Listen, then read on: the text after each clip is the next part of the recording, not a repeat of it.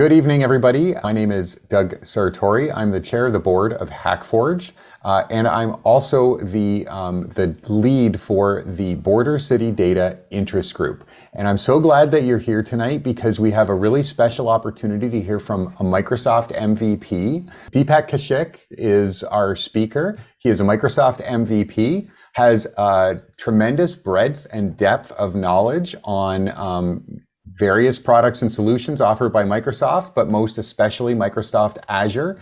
He is a knowledgeable and sought after um, in IT circles as a speaker, and he is regularly consulted by companies who are formulating their cloud strategy.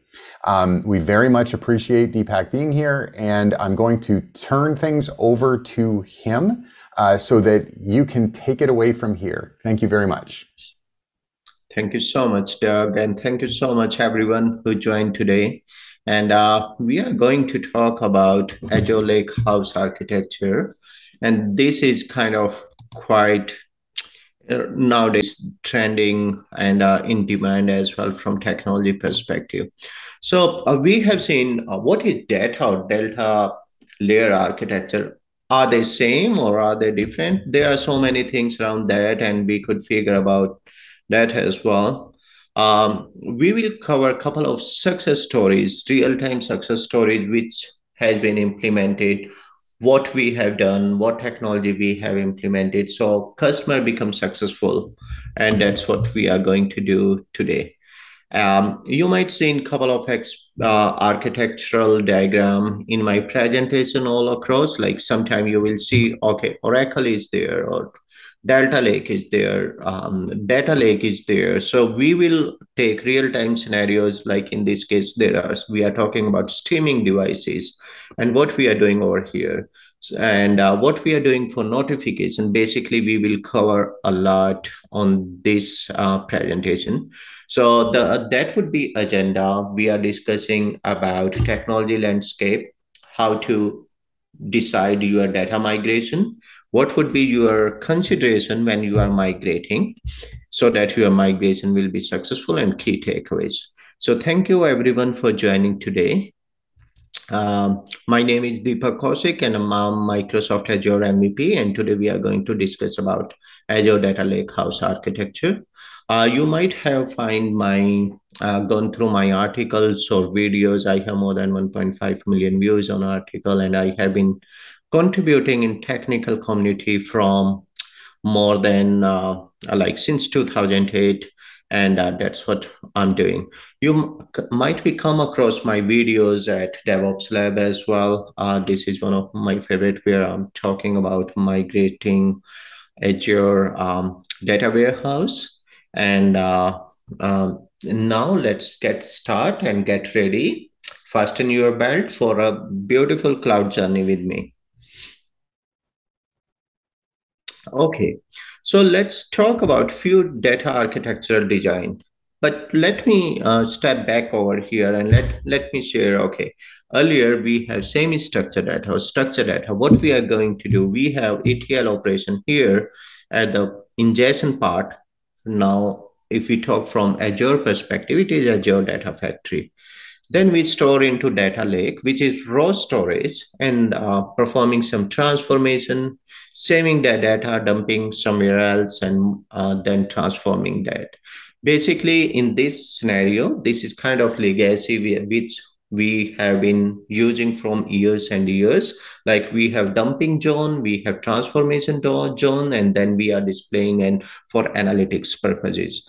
Uh, right now, the same thing we are doing here as well. In architectural design, we have streaming data, maybe from aeroplane, maybe from wind turbines, or so many devices, or batch data, which is called schedule data. We could ingest that data into different form, uh, and these bronze table, which you have heard about, is kind of the raw landing zone, which was earlier here. So bronze is the raw zone, but that raw zone is for you, not for customer. And then we have silver zone, which is kind of refined and massaged data. And gold is kind of golden mine, uh, where you have all the data. present for analytical and AI purposes. But uh, take a look over here. Delta Lake is sitting over the data lake. So basically, all the storage is on the data lake, which can be Google Cloud or ADLS Gen 2 or Amazon or IBM or whatever is there. So Delta hmm. Lake is basically, if I have to define Delta Lake, is open source project that enable building a lake house architecture with compute engine. So basically it is kind of supported by Spark or Synapse or all those different stuff which we are going to discuss today. So Delta Lake is the logical and our data lake is kind of the physical where we have all the compute and storage power if i had to define a color uh, excuse me for my color choices over here uh, delta lake uh, if i have to define again is open source project that work like almost like data warehouse but data not exactly data warehouse and directly onto data lake. That's how we have delta lake over here. And it adhering to the all the principle i'm not going on that. So let's understand it. For example on the left hand side we could see on-premise when it was 2005 8 or 18 what we have seen like there is on-prem landing zone we have source database and master database. Sometimes we say bronze, silver, or gold, or sometimes we say um, dev, stage, and production. That concept has been changed in Delta Lake. Uh, now we have bronze Delta Lake, silver Delta Lake, or gold Delta Lake. And uh, similarly in Snowflakes as well, staging table, raw data vault, or business vault. So basically, in bronze, we always get the raw copy from any streaming device. For example, Nick is here, Rohit is here. And if I'm getting the streaming data or batch data, that data first go into the bronze table. And then uh, once we perform that data, any transformation has been done on that data, that will be on silver.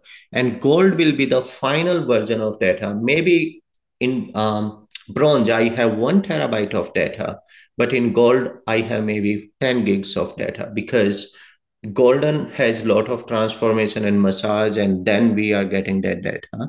So this is how historically we move from 2005 to till now in this age where we are not dealing with hardware devices. We don't have data warehouse sitting in the uh, room with a lot of ACs, it is more like a service.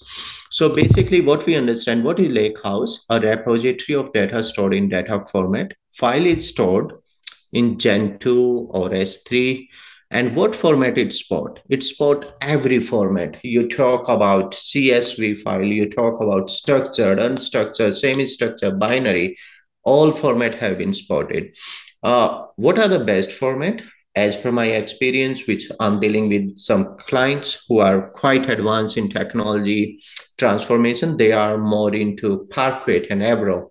And uh, there are a couple of scenarios where we are dealing with uh, CSV scenarios as well, which is kind of uh, give some uh, yeah challenges down the time. So basically, a lake house is supported by each and every um, data available. Earlier, we were talking about relational, non-relational. But when we're talking about or referring to data lake or delta lake, these questions are not significant. Let's look at this very traditional lake house architecture. Whatever the source we have on left side, IoT Hub, SQL, flat file, Avro, SQL, you take the name, it does not matter. Like whatever we have in source, we have data uh, we need to move the data into the bronze and it has raw and append data, which is called Delta Lake. And uh, we move the data from ADLS um, uh, Azure Data Factory. Once we have data in bronze, we push the data, which is the cleaner version and single version into the silver with the help of our logic, which is kind of notebook over here. And furthermore, we push the data into the gold, which is curator curated and fact and deemed basically business can use that data for their analytical purpose their artificial intelligence this is kind of the data which need to be available for making the decision. So this is how Lakehouse architecture work and all these are uh, part of data transformation. Now we understand all the three, bronze, silver, and gold, and that make it a delta lake. Another source to destination example, we are dealing with, uh, I'm showcasing one of the real-time example of New York Taxi, where we will see, okay, how we are moving the data to the bronze and silver and uh, production, uh, which is kind of uh, gold as well, uh, which sits over the ADLS Gen 2. Uh, well, here you could see, um, I could not share a whole bunch of resources over here, but Bronze Data Lake, it looked like we are saying data lake, but it looked like a database and geography table. And uh, we will figure out, is this is a really table or it is something else. So basically this is uh, Azure Storage Explorer. If you uh, haven't used it's really very, uh, very good tool. And uh, we could look over like we have three folders over here and uh, we have dimension and fact under that we have on the basis of the year how the data, data is available. And on the basis of data we have okay in 2020 i want to see sales data and what are the months and what are the days. And eventually we could look over okay on 22nd of july 2022 we get this file. This file i got at 10 15 am 36 10 15 36 11 25 22 15 28 26 so it is hierarchical namespace with timestamp and different format of the files. So this is the beauty of delta lake. With spot hierarchical namespace we don't need to consider or bother a lot about it. And this is where we look over different file format. Do we have any file format dependency I would say no, we don't have any file format dependency in Delta Lake. So let's uh, let me showcase a quick demo over here. Uh, earlier, I, so, I, I was showcasing these three folder in New York Taxi Lab, and it is the bronze and silver and raw and delta in every every folder. Like it is uh, three folders are there. Bronze is the dumping zone. You could say your zone or developer development zone. Silver is the mode transformation, and gold is the uh, really uh, the top one. And if I have to go to here, uh, let me showcase you uh, New York. Uh, this is my Azure Synapse workspace. If I open it, it will open this. And uh, we could look over different different options available over here what we have and what we need to add. And uh, there are different options available as well. But we could start it. Right now it is closed but i will showcase you further as well. Give me very quick second. Okay. So basically these are the some of the detail of my active directory. And uh, uh, where it sit, uh, sits. So basically, uh, if you look over, these are my data available. Lake Lake database. So bronze data lake. What what are the table table available? We see the table is not into kind of tabular format, but table is available into folder. So basically, they are indeed in a file format.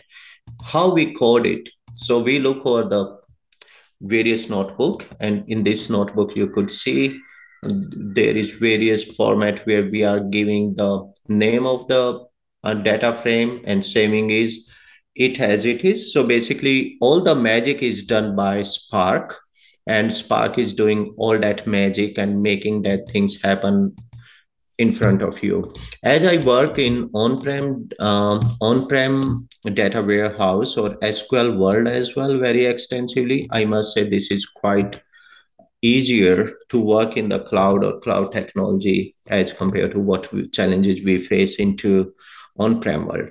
Okay, that is the one first example. Let me hold here for a second. If you guys have any questions, please go ahead maybe raise your hand and uh, or type whatever you have feel free. And uh, I want to make it as interactive as we could.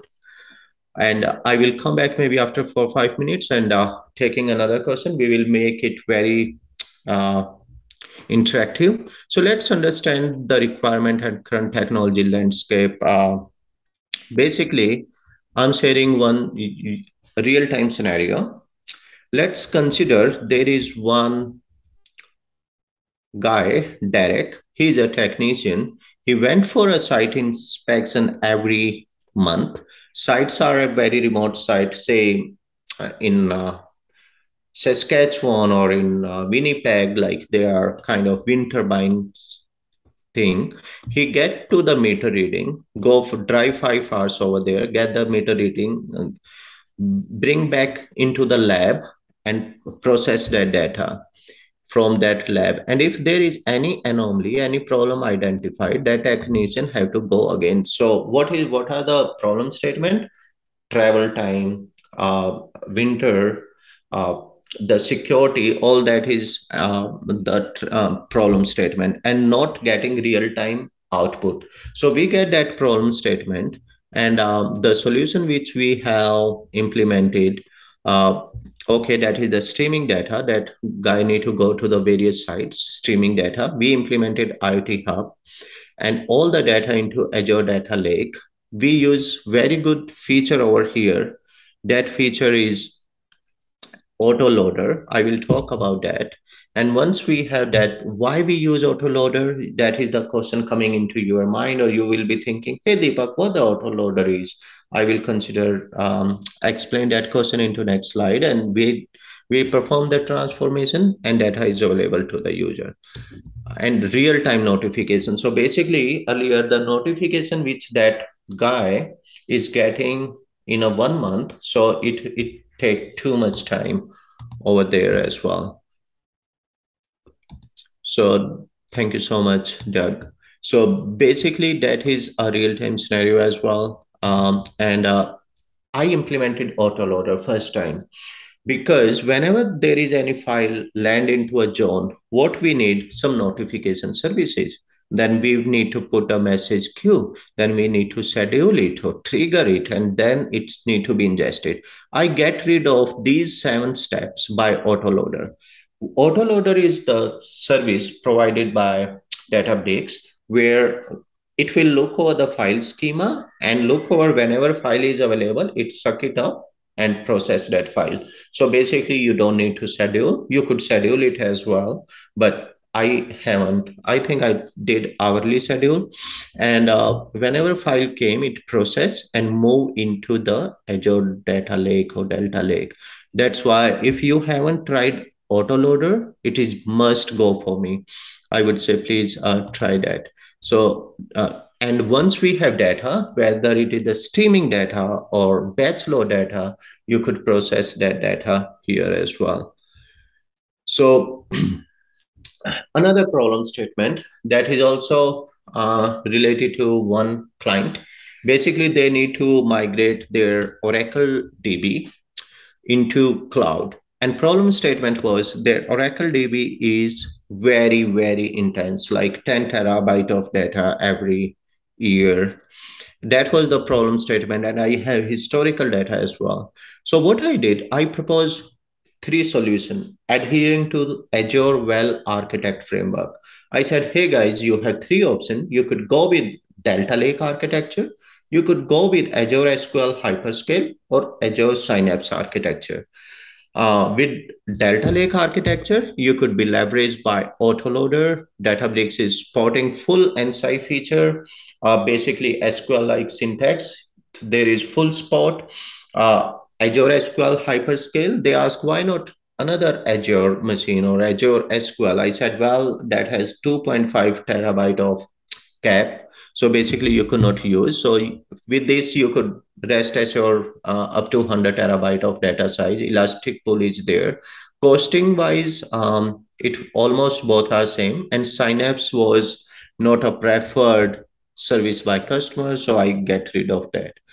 But the question is, hey Deepak, how these solutions are adhere, how you propose those solutions, what are what are the rationale to propose that solution? So the my rationale is always adhere to azure well architect framework which is awaf azure well architect framework that say okay five pillars are cost optimization. It one service i'm getting my customer is paying $100000 an year and i offer a service which consume do perform same job and perform uh, same job by 250,000 a year, it does not make any sense.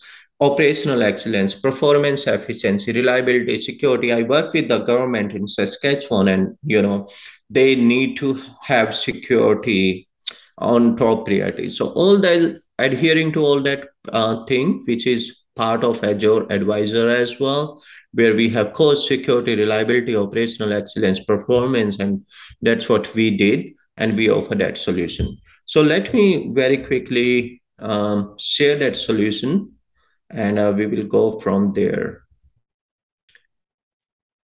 At any point of time, uh, feel free to look over, um, well, uh, raise uh, question, whatever you have, and I will happy to give the answer. So this is Databricks. Uh, if someone would never work on Databricks, these are the Databricks. And in Databricks, this is the notebook. Similarly, the notebook we have also so right here as well into uh, Synapse as well. So basically similar thing, but that is on Databricks side. This is on Azure Synapse side. Uh, I use um, the Python so basically, you could use Python or you could use, um, you know, SQL or any language or Scala or whatnot. So basically, um, I like Python more, so that's why I use Python. So what I did, I gave the access key, basically whatever the access key is, um, container name, and uh, I give the detail, what file you need to ingest. Hey, I said, hey, autoloader, please ingest um, please. Sorry it's asking me for cluster so let me give the cluster. Hey uh, autoloader i want to ingest csv file. Here you go. And tomorrow if i see Cassis is also here it's her project requirement is to ingest the json file. You will say okay autoloader ingest the json file. If it would be not the cloud if we have to change the ingestion mechanism or ingestion type or typecasting or whatever word we will use, it is so cumbersome. But here we change it, it make the that change, create the data frame. I did some transformation and save that data. Once I have that data saved, I have all the data available here. And then again, I select some data select like this syntax, you could see percent SQL like SQL like syntax. I deliberately used that. So because I came from that background and I did the transformation and move from there.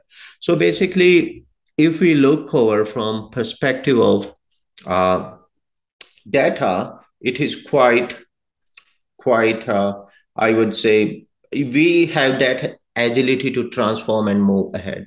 So basically, uh, we by this solution we got a very good value out of this, and I think that is something I want to share and uh, which we could also leverage data governance, data quality, master data, all those kind of different governance feature as well.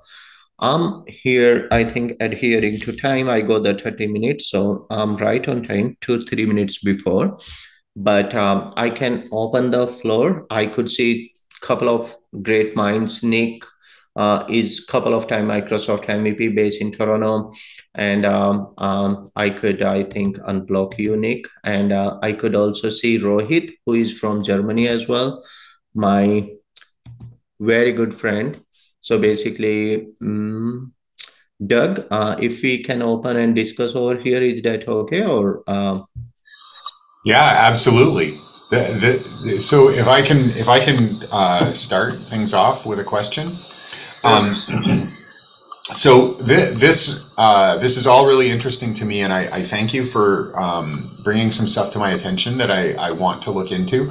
But I, I'm curious about where the friction is. So um, you've talked today about the benefits of um, of this architecture and the tooling, and I'm curious: is there anything that you wish was different, or anything that you would like to change or or see uh, iterated in a future version that would make life better? That's a that's a good question. So one of the biggest challenge which we face, and uh, uh, let me explain from example, the dependency. Dependency is okay. If I use one feature, I have to use similar feature. In this are loosely coupled. I'm talking about 17 years before what we you know learn. Uh, loosely coupled. For example, this feature, all the data is available in the bronze table so basically, bronze table is kind of my archival storage, which sits on ADLS Gen 2, which is cheapest. And then uh, we have silver and gold, and here we have Power BI. But in, instead of Power BI in future, if we want to use Tableau, what is stopping me? I have my endpoints exposed, and my Tableau um, will you know consume it or SSRS old storage you know old reporting system or what what not like i have some customer they are very comfortable into excel as well. So basically they could ingest that data into the excel and do all that transformation. Answer to your question is okay these are very good thing what we can change. Uh, from my real time experience i help one customer that is gaming customer well well known in uh, uh, you know Australia and US, uh, well based, very good headcount. They come with the problem statement: our ex- our Azure expenses are too much. Like they are shooting eight times more than what we are getting, 800%. And then I use Azure Well Architect framework and look over from cost optimization perspective. I figure out, oh, okay, all the services are in premium uh, tier. Then I said, okay, do you guys really need developer development, uh, you know, jobs as well in premium tier? I don't think so. Secondly, I look their Azure Synapse running 24 by 7. The beauty of the cloud is you don't need to run your services 24 by 7. You could pause them as soon as you don't need them. They are automatically scaled. Their storage is different. Their compute is different. So if you don't need for example a school division i work over there. If students attendance is not required over weekend or summer vacation i'm not burning my compute power over there right? If there is no job.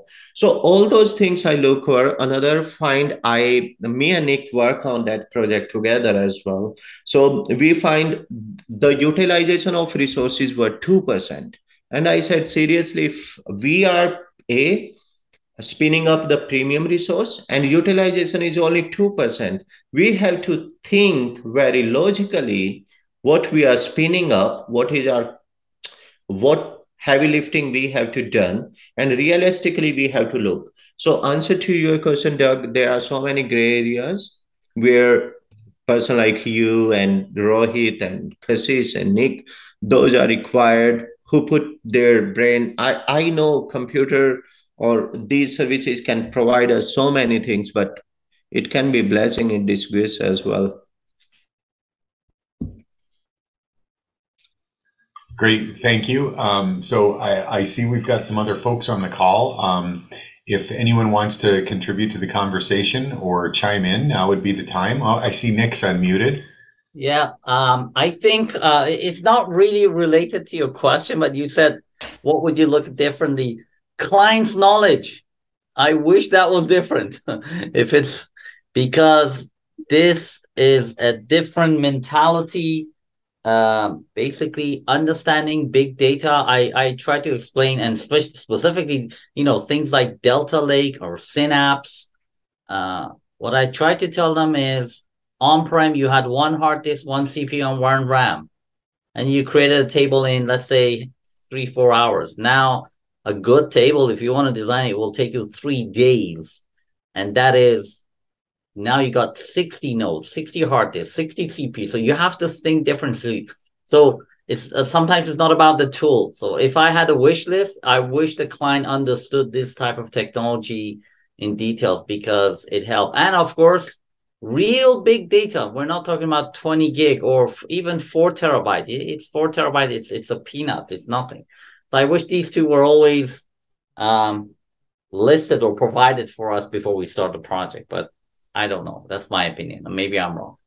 That's a really interesting perspective. I think um, just thinking about my experience, you know, typically clients, um, they think their data is the most important data in the universe and that um, nobody else could possibly be operating on the scale that they're operating on. Um, and I, I, you know, I play in a little bit of a, um, a smaller space. I think, you know, most of my clients have very small, like sort of total envelopes of data uh, and you know less than a terabyte for sure. Um, and and but there's you know there's a lot of hype and excitement about big data, and there is an expectation that you're going to deploy um, all this fancy tooling when most people don't really need it. So it's interesting that you say that because, and I, I think for so if I'm guessing you're dealing with mostly with the enterprise, and you feel that there's there's a, like an education piece that's lacking. Yeah, I'm working with uh, Scene credit card, Rogers credit card, uh, Scotiabank. I finished Scotiabank, so these are the right things that are lacking. And I tell the clients if if I want to define a successful project, just with like half half half a sentence is get your data ready first Mm-hmm. Get your data ready first before you sign a contract or everything. So, um, less than one percent of them they do that mm. and they understand it. You know, directors are backing me up, but maybe 95% of them they have their data on the last day and it doesn't fit the model it doesn't fit anything and then you know we're talking about distribution. Like again it's the the subject is delta. Like i'm not trying to change subject or anything. Yep. They don't understand the distribution uh, and as usual usual they hear fancy words like synapse analytics and i'm like that's brilliant. How much data do you have? They say 20 million. I'm like okay you can do it with an excel file. You don't need you know right. an orchestra uh, uh, uh, army of uh, you know uh, azure specialist. put it in an excel file get, get finish it yourself but uh, you know it, it's okay we understand that but um, there are extra management decisions that are being made that you have to respect. But uh, the thing I always say, I wish these two were in the list. You know, the knowledge and the data in on day one. Mm-hmm. Mm-hmm. That's an interesting perspective. Yeah, um, indeed, Nick. And I know your experience where you are dealing with terabyte of data. So terabyte is even peanut for you. And when you are working in, you know, bank and those were humongous amount of data, I think. So that's so great. Thank you. To be honest, even the banks, they don't have data. I'm gonna be honest. banks, they have nothing compared to, let's say, companies who deal with video or, or sound. They have oh unbelievable petabyte but banks, because they have structured data, they don't even have four terabyte of data. You may not believe it. Not even close. Holy moly. So yeah. we are getting some insight because as per my understanding, no data is deleted in bank. So yeah, there, exactly. There is no such there is no such a thing as deletion. You're not allowed but like not only by design, security will check and you're not allowed to delete anything. for example, credit card information. Credit card information is you swipe your credit card and that's it. So um, even US, even in Canada, you pick any bank, the amount of data you, they have is nothing. It's it's it's a it's a joke compared to let's say companies that are dealing with videos and sound and you know one video is I don't know uh, minimum one gigabyte and a daily transaction credit card of of let's say a bank RBC Rogers, it's not even 17 million record a day. It's not even. Yeah.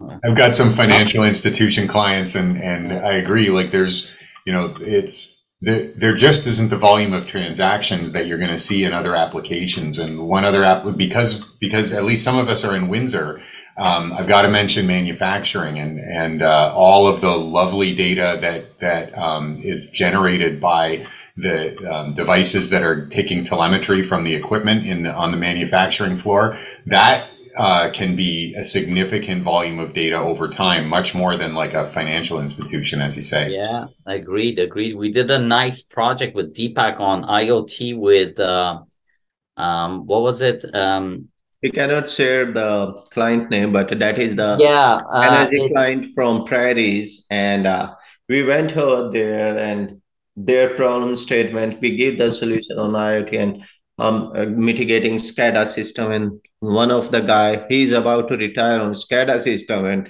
he opposes the maximum. like, oh well, SCADA system, how you guys do? And uh, yeah, we went over there. Uh, it is fun. Yeah, thank yeah. you. we did one on we did one on um, pharmaceutical machinery. Oh yeah, that was the same company. Uh, they were on nuclear as well, but we we never saw anything. We just gave them the code. This is how you install. This is how you set it up, and they were very happy with it. How did they use it? We have no idea. It was I don't know. We were not allowed to know anything. That's that's all I can say. but yeah, those are real data, the telemetry data, and uh, we worked on that a lot. Compared, we should come up with a, a Deepak something like streaming to Delta Lake with it. Maybe we should create a presentation on that as well. Yeah, that is good idea. That will be like if we bring that gravity into the subject, that will definitely help a lot. I I want you know so many folks when it's we spread the word and bring the quality that will help. So Rohit, out of curiosity, how the things going in Europe or Germany specifically? You want to chime in? Uh, yeah. Hi, uh, this is Rohit. Um, I'm based in Germany, uh, working for an IT firm, uh, basically product based. So I'm not a um, cloud based guy. So um, it was very insightful for sure for me uh, since I'm started to learn this cloud based computing um, due to my future projects. So looking forward to more sessions like this. So so that I can explore more and see what is fitting to my needs here. Sound good, Rohit. And uh, yeah, Nick has very interesting stuff as well. I think uh, uh, next time or uh, we will plan and uh, we will start our cloud journey as well. Kashish, you want to share anything? Uh, your feedback, comment, compliments, complaints, feel free. Yeah, hi, hi, Deepak. So, um, yeah, I mean, this is all very interesting. Uh, I haven't worked with Azure. I have worked with AWS, like okay. um, their S3 and Glue uh, tools for like ETL. Uh, so, yeah, this is interesting. This is new. Like I've, I've heard about Delta Lake for Delta Lake uh, integration in Azure before. And, um, yeah, it's very interesting. It's definitely something to explore uh, and learn. So yeah, good stuff. I like it. Thank you so much, Kashish. And uh, uh, there are uh, so much articles. Um, uh, like my articles have more than 1.5 million views. So basically, um, feel free to connect at LinkedIn uh, and have any questions. Uh, happy to assist with if you are planning to start your cloud journey or what to do and where to do and all that stuff. So, yeah, thank you so much, folks. It's quite interesting. And Doug, over to you. Okay, thanks. Um, yeah, fantastic talk. Uh